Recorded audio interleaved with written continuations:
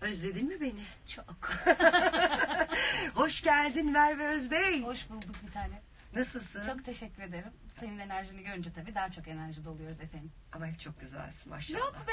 Vallahi güzelsin. ha. Kız bu ara herkes aynı şeyi söylüyor bana biliyor Bir musun? güzellik bir güzellik geldi sana. sana, diye. Vallahi öyle olmuş yani. 30'a Böyle- yaklaşıyorum acaba ondan mı hemen? 30'da hiçbir şey yok bak. Bir sıkıntı yok söyleyeyim Ben sana. korkuyorum galiba. 40'a doğru giderken çok daha büyük sıkıntı var. Teşekkür ederim. Geçen hafta doğum günümdü. Ben mesela bayağı eve falan kapattım kendimi ya. Parti parti hiçbir şey yapmadım. Senin 25'ten gün alıyor onlar lazım. Ee, tabii öyle diyorlar da işte. Artık bunun üzerine doğru düzgün sorularla sorarsak. Bütün yayını yeter herhalde. Kafa kağıdına bakınca Kafa öyle olmuyor işte yani. Merve Özbey bizlerle birlikte Radyo Trafik Marmara'da eşlik etmek isterseniz program. Ben Emel Yalçın bu arada kendimi tanıtayım. eşlik etmek isterseniz programımıza 0212 alan koduyla 363 0424 telefon numaramız. WhatsApp numaramız mesajlarınız için 0541 363 04 24 Merve Özbey'e sorularınız varsa iletebilirsiniz. Evet. Ne kadar da ailemizin kızı bir sanatçısın. Ne kadar da tatlı bir kadınsın ne kadar da tatlı bir. Yani böyle hani e, sanki hiç büyümeyeceğim bir küçük Merve gibi yani hep hayatımızda. Değil mi? Sen çok çocuk yaşlarda çıkmış gibisin. Yani çok küçük yaşta çıktım ama tabii tanışıklığımız bir 25'i buldu hep beraber. Evet. 24'ü buldu. Hı hı. Gerçekten e, gece hayatı olan dışarı çıkan insanlar biliyorlardı çünkü back vokal background'um olduğu için back Demet vokal Akalın'la olduğum için evet. yıllar. Çok ciddi isimlerle çalıştım. Hı hı. Ama artık bunları herkese anlattığım için Hı hı. yani ilk hmm, ne kadar diyeyim sana bizim totalde dinleyiciyle tanışıklığımız bir 6 yıl oldu. 6 yıl oldu ama e, sanıyorum ki arka arkaya hep hiç şarkılar çıkarttığın için sanki çok daha uzun zamandır hayatımızda gibisin. Aslına bakarsan bir tane albüm var. Evet, bir Geri tane kalanlar albüm var. hep single ama sen konser sanatçısısın da aynı zamanda. Gay- Aynen öyle. Çok yoğun konser programlarımız oluyor. Benim izleyiciyle dinleyiciyle enerjim çok uyuyor. Çok seviyorum onlarla vakit geçirmeyi. Hı hı. Dinleyici de benden iyi elektrik aldığı için çok fazla konser yapıyoruz. Bir gittiğimiz yere 3-4 defa daha gidiyoruz. Bu da ne hepimize yapıyorsun? Nasıl yapıyorsun bunu? Nasıl Vallahi sağlıyorsun? uğraşıyorum. yani şöyle bir kere e, kimi kesim öğrenci kesimi oluyor, Hı hı. kimileri daha böyle e, yaş olarak. Benim dinleyici kitlemin aslında bir yaşı yok. Yok.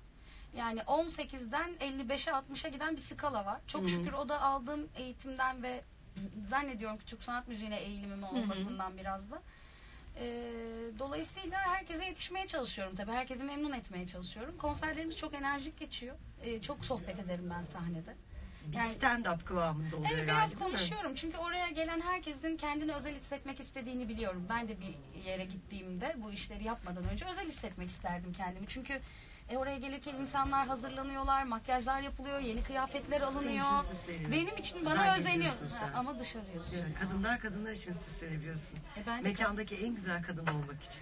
Kadınların hepsi çok güzel Seni oluyor, geçemezler ayrı sen. Estağfurullah, estağfurullah. Öyle. Ama gerçekten de böyledir ya kadınlar kadınlar için süslenir. Evdeki koca için ya da yanındaki koca için değil yani bir mekana gittiğinde oranın en güzel kadını olmak için süslenirsin. Ya bence dünyanın en güzel kadını ruhu güzel kadın. Gerisi hikaye. Gerçekten öyle. İnsanlar biraz yüzlerini harcadıkları vakti yüz ruhlarını harcasalar herkes birbirinden güzel olacak zaten. Sen bunu yapıyorsun çok kitap okuyorsun mesela. Evet kitap okumayı çok seviyorum. Çünkü başka şımarabildiğim yer yok. Hı hı. Ee, en azından insanların dedikodularını, hikayelerini dinleyeceğime romanlardaki hikayeleri dinliyorum. Oradaki karakterlerle tanışıyorum. Çok daha keyifli oluyor. Bu zamana kadar okuduğun kitaplarda seni en etkileyen karakter kimdi? Canan Tan'ın Piraye diye bir kitabı vardı. Çok etkilenmiştim. İkincisi de Hasan Ali Toptaş'ın şimdi hatta yeni bir kitabı daha çıkıyor. Kuşlar yasına gider diye. Bunu gittiğim her yerde söylüyorum. Oo, evet. Ya inanılmaz Çok güzel, güzel bir kitap. Bir de ben Can e, şeyle m, Hasan Ali Toptaş ve kalemiyle Hı hı. yeni tanıştım. Hı hı. E, o dönem e, babam bir rahatsızlık geçirmişti. Kitabın hikayesinde de teyzem de çok kitap okur benim. Hatta benim e, kitap reçetem hep kitap reçetemi o yazar yani bunu oku bunu oku diye. E, o dönemde o kitapla tanıştığımda babamın da ufak tefek sağlık problemleri vardı. Çok etkilenmiştim. Geçmiş Yazım olsun. dili çok güzeldir. Çok keyiflidir. Özellikle Kuşlar Yasına giderim. Mutlaka buradan bizi dinleyenler edinsinler. Çok keyifli vakit geçireceklerine adım gibi eminim. Öyle yalandan Instagram'a fotoğraf koymak için kitap okuyanlardan değilsin. Değilim. Çok iyi biliyorum. Ee, ve bu okudukların aslında seni besliyor. Çok güzel şarkılar da yapıyorsun. Bunu da bizzat Evet, biliyorum. Ama niye bunları ortaya çıkartmıyorsun? Çok derin şeyler yazıyorsun. Çünkü ben bir iki tanesini okuduğumda Evet. şoka girmiştim. ki ben ilk defa sen ve Murat Güneş'in yanında yani şarkı yaptığımı, şarkı yazdığımı Erdem Kınay bilir, işte Hı hı. arkadaşlarım, yakın çevrem bilir ama çok utanıyordum. Çünkü bu şöyle bir şey. Türkiye'de çok iyi şarkı yazan insan var. Dolayısıyla bu hmm, hani çok iyi bir İtalyan şefin yanında e, yeni başladığın bir pizzayı yapmak gibi yani. Hı hı. Ee, ben o konuda biraz kaleme olanlara ve vizyonu olanlara çok fazla saygı duyduğum için kendiminkilerin iyi olduğunun farkına varmadım hiçbir zaman. Dolayısıyla sizle işte ilk defa hatta orada da yani kaç Murat'ı görünce ya ben senin yanında şimdi Evet. şarkı mı yapabilirim falan filan deyince beni siz o gün yüreklendirdiniz. Şimdi albümde dört tane şarkım var. Aa şarkım. süper. Muhtemelen çıkış şarkımda kendi sözlerim. Gerçekten mi? Evet. Süper. Yani hiç bu böyle e, konuştuğuna bakmayın çok fazla mütevazi davranıyor bence. Ortaya çıktığı zaman o bebekler zaten siz de dinleyince anlayacaksınız sevgili dinleyiciler ne demek istediğimi. Ee, Buluşturacağım evet. içi boş kelimeler ya da cümlelerden değil gerçekten dinlediğinizde çok Çok etkileneceğiniz teşekkür ederim. Sözler Emel, olacak. Çok, oldum. sabırsızlıkla bekliyorum ben Çok de. az kaldı. İnşallah 2018'in ilk çeyreğinde ummalı bir çalışma içerisindeyiz. Çok iddialı bir albümle geleceğim yine. Çünkü ilk, ilk albümüm bana göre çok iyi bir albümdü. Evet. Satış tirajı da çok iyiydi. Hı hı. Fizikselin satmadığı, çok az sattığı yerde 50 bin gibi bir rakam bizim Merak için. ettik çünkü seni. E, yani 50 bin biz hatta konuşuyorduk diyorduk ki ya albüm yaparsak gerçekçi olmak lazım. Artık Hı hı. her şey dijital dünyada dönüyor. E, ya Erdem dedi ki 25 bin satarsak başımıza koyalım. Hı hı. Satmıyor çünkü. Ama asla bu şey em, bu rakamlar seni yanıltmasın. Çok iyi şeyler olacak. Çok iyi şeyler olacak dedi. Hakikaten de iki katına çıktık. Hı hı. Şimdi tabii gözüm yükseklerde artık Emel. Birazcık daha iyi, daha iyi, daha fazla, daha iyi, daha fazla. Hak ettiğin yerde aslında gözün al. Yükseklerde demeyelim ki Yani- daha hak ettiğin yerde değil. Hak Ee, etti. Doğru. Söyleyelim yani hak artık yerde. mütevaziliğin e, çok söylüyorlar. Biraz Bırak ayol artık mütevaziliği. Evet, yani evet, nasıl söylüyorlar bak bir şey söyleyeceğim. Ee, bu arada Instagram'da canlı yayındayız. Emel Yalcin yazarak izleyebilirsiniz. Evet, gelin. Bizi aynı zamanda. Ee, şimdi bak senden sonra bir şey oluştu. Bana Merve Özbey gibi şarkı yaz. Bana Evet, Merve, Merve Özbey, gibi aranje. aranje yap. Beni Merve Özbey gibi okut tarzında bir şey başlattın sen. Yani bu çok yıllar öncesinde Sezen Aksu'da olan bir şeydi. Seninle beraber de başladı bu ve senden sonra bir sürü o çıstaklı altyapıların üstüne nameli sesler duyduk yani. Cesaretlendirdin insanları. Yani şöyle arabeski hep tükaka dediler. Ama hı. halbuki hepimizin bir gece sonunda ya da bir aşk acısının sonunda bir Müslüm Gürses, bir İbrahim Tatlıses, Bir bir tek dileğim ya var diye. dinlemiş değil ya ki ben din, şeyi de anlamıyorum. Mesela oturuyoruz. "Aa, Ben Türkçe Sen müzik- anlat da ben şu kahvelerimizi vereyim Ha, Merve geldi. Benimki Ha, burada. sen anlat. Aha kalktı vallahi kahve almaya. Evde gibi değil miyiz şu an? Bu benim büyük suyu. Çok susamıştım. Şey, e, ya ben Türkçe müzik e, dinlemiyorum falan. Nasıl dinlemiyorsun abi? Yok öyle bir şey. Nasıl dinle? Dinliyoruz yani. Yok öyle bir şey. Arabeski de çok seviyoruz. Arabeski de Ha dinliyoruz. çukaka dediler arabeske işte. Ben dedim ki hayır arabesk çukaka değil. Biz zaten toplum olarak, yapı olarak ve iç duygu olarak zaten arabeskiz yani. Evet. Tükaka denilen arabeskte babası var. Dünya kadar İmparatoru var. Her şey var yani. Ferdi babası, Orhan babası, e, Müslüm babası, Ya İbrahim sürü, Tatlıses bir imparatoru. sürü, bir sürü insan Yani. var ve bu insanların işlerini çok çok güzel yapan insanlar. Hı hı. Ve e, ki zaten ben arabesk okumaya başladıktan sonra ya insanlar sadece şeyde yanıldılar, bir tedirgin oldular. Biz de hatta orada tedirgin olduk. Elektronik bir altyapının üzerine, dünya sound'unun üzerine e, iki tane acılı lahmacun yemiş gibi yana yana okuyan bir kız var yani. Evet. Arabesk okuyor kız. Ve onun bizim e, Erdem'le yaptığımız işbirliği sonucunda bence pop müzik dünyasında yeni bir e, Sound nefes getirdiğine inanıyorum ki sonrasında da zaten birçok arkadaşımız da bunun denemelerini yaptı e, ve başarılı da olduklarını düşünüyorum. Seni dinledikten sonra hiç unutmuyorum. E, o proje albümünü çok merak ediyordum zaten Erdem. Seni hep duyuyorduk bir şekilde. E, konserlerde solo şarkılarını da dinliyorduk, biliyorduk. E, ama o kadar çok starın olduğu bir albümde öne çıkacağını hiçbirimiz tahmin, tahmin etmiyorduk etmiyordum. tabii ki. Ve ben şöyle oldum biliyor musun? İlk senin sesini duyduğumda o albümde oh be dedim.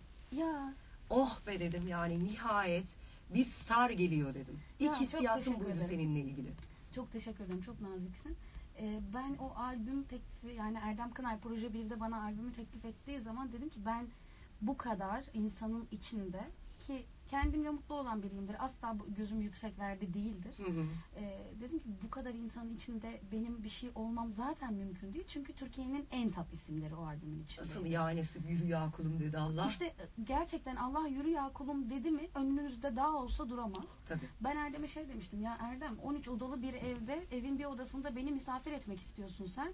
Ben de misafir yani misafir gibi davranayım bari. Misafirin gerek, misafirliğin gerektirdiği gibi davranayım. Elimden gelenin en iyisini yapmaya çalıştım. Bu arada buradan ilk defa söyleyeyim mesela ilk okumaya gittiğimde Duman'ı e, her zaman ilk hissiyat çok önemlidir bizde. Ben Duman mesela demo okumasıydı. İlk okumamla albüme girdi. Öyle mi? Onu Evet. bilmiyordum. Birçoğunda biz öyle yaparız. Mesela stüdyoya gideriz. O gün ses açık olur, iyi olur, keyfin yerinde olur falan. Demo okumayı albüme, albüm okuması diye soktuğumuz çok fazla şey oluyordu. Çok inanmamıştım bir şey olabileceğime. Sonra bir 6 ay sonra bir uyandım hemen şarkımı herkes söylüyordu. Ya peki ne hissettin o anda? Eyvah dedin mi? Dedim. Şöhret geldi eyvah. Yoksa oh çok şükür Allah'ım emeklerimin karşılığını görüyorum diye. Yani e, şöhretten şöhret denilen kelimenin anlamını ben gerçekten bilmiyorum. Hı hı. Sadece bildiğim bir şey var. E, Allah bana bir ses verdi. Evet. yarın öbür gün yapabileceğim en ufak bir kalp kırmasında ya da birinin gönlünü kırmakta ya da yapabileceğim herhangi bir harekette bunu verdiği gibi almasını da bilebilir. Dolayısıyla Örnekleri de var. şöhret benim için hani evet Allah'a şükürler olsun çok fazla tanıyan insan var. Artık çok fazla insanla şarkılarımı paylaşabiliyorum. Kiminin yarasına merhem oluyorum, kiminin mutluluğuna çare oluyorum. Bir şeyler yapmaya Hı hı. çalışıyorum kendi kendime. Ama bu ilk tedirginliğim şeydi Emel. e, şey dediler bana. Uf kurtlar sofrasının ortasına Evet. düştün. Korkunç bir yer burası. De Herkes değil tabii mi? çok hazırlıksızdım. Erdem olmasaydı hiçbir şey yapamazdım. Benim en büyük akıl hocalarımdan bir tanesi Erdem'dir. Buradan da gerçekten böyle öğretmenlik yaptığı için ona teşekkür etmek lazım. Ee, kurtlar sofrasının ortasına düştün. Eyvah polemiğin olması lazım. Ona Tabii. onunla kavga edeceksin. Bunu böyle yapacaksın. Hayır. Kurtlar sofrasına oturmak istersen sofraya oturman lazım. Ben Evet. sofraya oturmayı tercih etmedim. Peki şunu soracağım Merve. Bak hazırladığım sorularda da var. Sen de gördün az önce kopya çektin. Hakikaten inanılmaz bir rekabet var. Çünkü pasta çok küçük aslında. Evet. Radyoların çalabileceği şarkı sayısı belli. Müzik kanallarının döndürebileceği video klip belli. Çünkü Çık- isimler belli. çıkılabilecek mekanlar belli, isimler belli. Bu rekabet ortamında e, seni rakip olarak görmediler diyemeyeceğim. Böyle bir şey olamaz. İnanılmaz bir sesin var. Hatta birçok benim diyen soliste taş çıkıyor. Bunu ben rahatlıkla söyleyebilirim. Çünkü ben bir radyo programcısıyım. Çok iyi bir sesin var. Ee, ama mesela sektörün tatlı kızı kıvamındasın. Sana sataşan yok vesaire falan. Bu da mahsus yapılan bir taktik mi acaba sana Yok. karşı? Yani ben mahsus yapıldığını düşünmüyorum. Çünkü Ee, sen çok potansiyel dişli bir rakipsin aslında. E, yani rakip olarak gör- görüyorlar mı görmüyorlar mı inan işin o kısmında değilim Hı hı. ben çünkü e, ben sadece şarkı söylemeyi seviyorum Hı hı. dolayısıyla bir rekabet ortamı varsa da duyduğum zaman bile duymamazlıktan geliyorum çünkü Hı hı. üzülmek istemiyorum çok Hı hı. naif bir yapıya sahibim ben E, dediğim gibi yani bir şekilde e, herkesin yiyeceği bir ekmek var ve o kısır döngü dönüyor Evet. yani şöyle düşün. Bir büyük isim şarkı yapıyor. Üç ay sonra sen çıkartıyorsun. Herkesin o pastadan yiyecek bir lokma ekmeği var. Hı hı. E bir şekilde zaten hepimizin yaptığı kendi paramızı kazanmaya çalışmak. Evet. Yani bankacı da olabilirdim. E, bir yerde ne bileyim tezgahta da durabilirdim. Orada da yine aslında bir rekabet var. Biz burayı çok gözümüzde büyütüyoruz. Bir holdingde de rekabet yok mu? Var. Olmaz olur mu canım? Daha Yani- fazla hem de. Aynen. Yani ben bunu mesela düşündüğüm zaman yine söylüyorum ya. Yani hayatta nerede durmak istiyorsan orada durmayı becerebilirsen okey. Ben şarkı söylemeyi çok seviyorum. İnsanlara dokunmayı çok seviyorum. Onun dışında benim bu hayattan iyi insan olmak dışında bir beklentim yok. Peki başardıkça o başarının tadını aldıkça biraz paranın tadını, biraz şöhretin tadını ve çokça o sevginin tadını aldıkça hayranların sevgisinin bir korkma olmuyor mu bunu ya kaybedersem diye? Yani e, tabii ki kaybetmemek için elinden gelen her şeyi yapıyorsun. Oturuşuna, kalkışına, yaptığın şarkılara, yaşam tarzına. Yani zor bir meslek aslında Çok. bakarsan bizimki. Çünkü Sürekli çok güncel kalman lazım Evet. bir kere yani. Tabii ki dikkat ediyorum. İnsanları izlemeyi seviyorum çünkü ben acaba neden hoşlanıyorlar, ne oluyor? Ee, korktuğum zamanlar oluyor tabii ama e, kaybetmemek için elimden gelen her şeyi yapıyorum ama bir yerde bir şey olacaksa da bunun da önüne geçemem. Doğru söylüyorsun. Bir yerde bitecekse bu serüven hiç olmazsa bittiğinde beş tane şarkı bıraktım öyle bitti Ben sana bir yani. şey söyleyeyim mi? Altı o kadar dolu ki öyle kolay kolay yıkılmaz ve bitmez. Ha yani yani. işte e, olur Altın da dolu çünkü senin. olur da bir gün Allah artık bu işi yapmayacaksın der ve benim için hayırlısı odur. E, O zaman gözüm açık gitmeyecek. Neden? Çünkü e, beş tane zaten hit bıraktım. Yani insanlar Evet. 6 yıldır duman dinliyorlar. Bence Helal. Türkiye'de Sezen Aksu şarkılarından, işte Tarkan şarkılarından sonra en fazla dinlenen Helal Ettim 5 yıldır. Duman 6 yıldır. Bu çok ciddi bir şey yani. Evet. Bugün bir kulübe gittiğinizde ya da bir arabada ben hala helal ettim benim ilk yani benim için çok Her önemlidir. yerde. Hala çaldığı zaman